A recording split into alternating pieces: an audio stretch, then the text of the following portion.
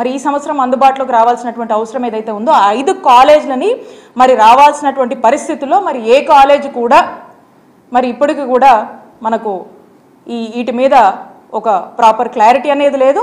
And అందులో మనం చూసినట్టయితే మీరు ఈ ఐదిట్లో పులివెందుల మెడికల్ కాలేజ్.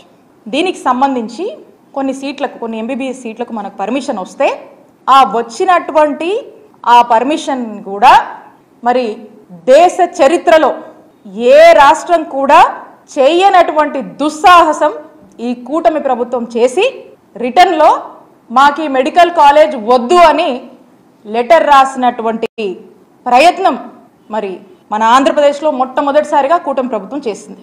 నేను అడుగుతా ఉన్నాను ఒక మెడికల్ కాలేజ్ తేవాలంటేనే ఎంత కష్టమో?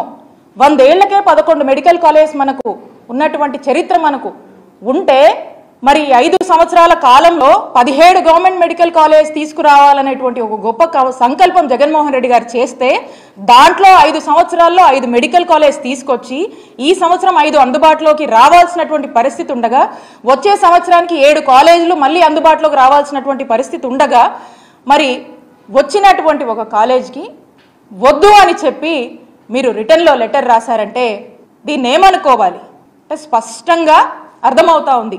అంటే పులివెందల మీద మీకున్నటువంటి ద్వేషభావం మీకున్నటువంటి రాజకీయ కక్షలతో పులివెందల మెడికల్ కాలేజ్కి అనుమతులు వస్తే కొన్ని సీట్లకి వద్దని మీరు లెటర్ రాశారంటే ఇది మనకు స్పష్టంగా అర్థమవుతా ఉంది. ఇలానే మనం మొత్తం మీద కూడా చూసినట్టయితే మనకు స్పష్టంగా మొదటి నుంచి కూడా అర్థమవుతా ఉంది. ఏమని? ఈ మెడికల్ కాలేజ్ తీసుకురావాలి ఈ రాష్ట్రంలో టెరిషరీ కేర్ స్ట్రెంగ్తన్ చేయాలి అనేటువంటి ఆలోచన జగన్మోహన్ రెడ్డి గారు చేశారు.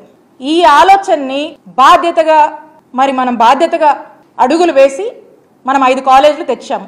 ఇంకా ఐదు రావాల్సినవి ఉన్నాయి.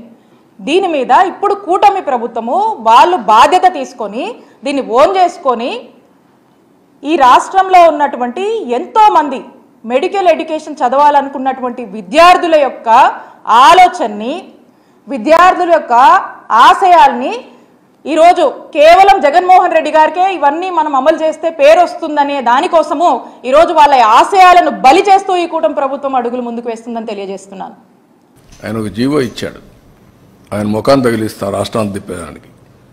ఆ జీవో పెట్టి ముఖంలో తగిలిస్తే ఆ జీవోని కాకుండా ఏం అమలు చేసావో చెప్పాలంటే పోలే నేను స్ట్రైట్ కోసం అంటే ఆయన బాడీకి గట్టేసి తిప్పుతాం ఆ జీవోని. ఏ జీవో ఇచ్చాడో మీరే చదువుకోండి ఒకసారి పేపర్ వాళ్ళు మీరు కూడా చదివితే మీకు కూడా ఒక ఐడియా వస్తుంది. అప్పుడు నేను చెప్తాను.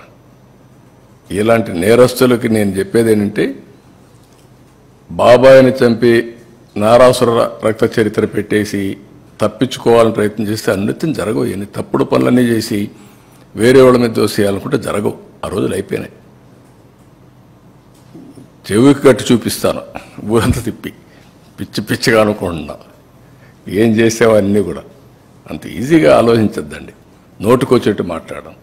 నిన్న ఏం చేశారో అది మర్చిపోయి ఈరోజు దాని మీద వాళ్ళు విమర్శించే పరిస్థితికి వచ్చారు. ఆ జీవో ఒకసారి చదవ నేను చెప్పను. చెప్తే మీకు రహస్యం పోతుంది. సీక్రెట్ పోతుంది. You read that. What issued the GO in private colleges you read that. Then మాట్లాడదాం. అంత ఇరిటేట్ అయిపోవాల్సిన పనిలే వీళ్ళ గురించి. ఇరిటేట్ అయిపోతే వచ్చేది కూడా ఏం లేదు. వీళ్ళు చల్లని కాసులు ఇవే చేస్తారు. నేరస్తులు నేరస్తులు ఏమంటారు? ఇదే చేస్తూ ఉంటారు. మీరు గుర్తుపెట్టుకోవాల్సింది ప్రజాహితం కోసం కొంతమంది పనిచేస్తే ప్రజలకు ద్రోహం చేయడానికి కొంతమంది పనిచేస్తూ ఉంటారు. ఇప్పుడు కాదు కలియుగంలో కాదు త్రేతాయుగంలో కూడా చూసాం. ద్వాపరయుగంలో కూడా చూసాం. ఆ రోజు కూడా యజ్ఞాలు చేసేవాళ్ళు రాజులు. రాక్షసులు వచ్చి చెరగొట్టేవాళ్ళు. రాక్షసుల మీద పోరాడుతూ యజ్ఞాలు చేసే పరిస్థితి. ఇప్పుడంతే. It is a continuous process. We will fight it out.